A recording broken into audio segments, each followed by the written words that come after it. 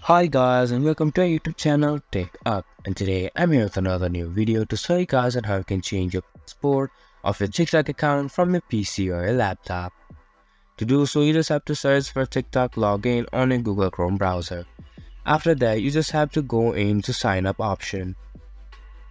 Now after going on to the sign up option let it load up on your screen and it will show you a screen where you need to input your credentials in order to log into your TikTok account. You need to do this manually because there is no option to change a password on your TikTok from your TikTok account settings. So to change your account, you just have to go on to there for credentials. There will be an option for forgot passport.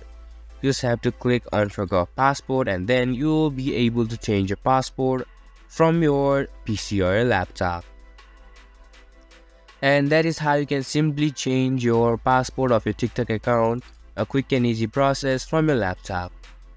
This was for this video and I hope you guys find our video helpful. If you do, make sure to leave a like, subscribe to our YouTube channel and hit the bell notification.